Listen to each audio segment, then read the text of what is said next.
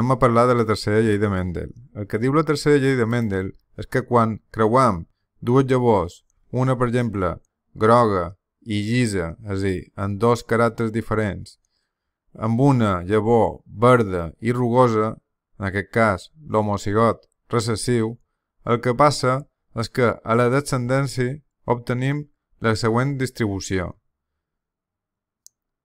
A la F sub 1 se segueix complint la primera llei de Mendel i tots els individus són uniformes, és a dir, grocs i llisos.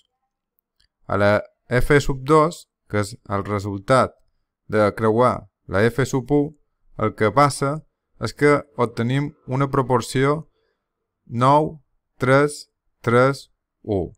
9, que són groc i llisos, 3, que són grocs i rugosos, tres que són eh, llisos i verds i un que és verd i rugós.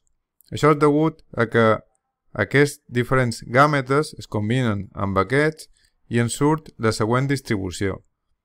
Per exemple, aquí tenim un homocigot dominant pels dos caràcters i l'únic homocigot recessiu que apareix és aquest d'aquí, el verd i rugós.